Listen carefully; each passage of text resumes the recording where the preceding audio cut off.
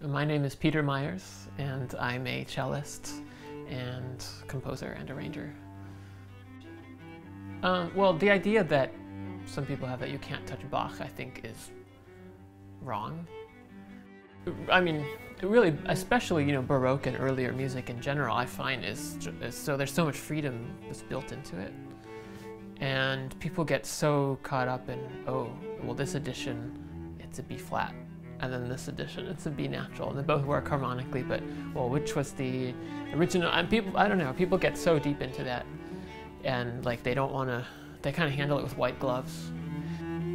It's you know it's, it's you know you can live it. You can breathe it. I I didn't have any qualms about um, adding a second or third cello part to.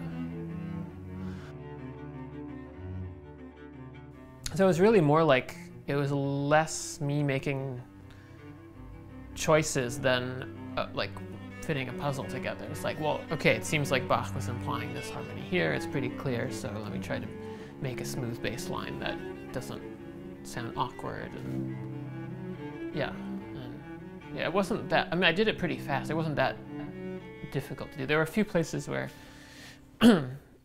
like it, I, I, felt awkward about it, and then Tanya said, "Oh, well, actually, I, I always heard that as this harmony." I was like, "Oh, wait, that's so much better." So then I would just change it. And there are a couple places like that where, yeah, but um, no, it was really fun to do and to hear, to hear it in a new light. And, uh, yeah, it's fun to play too.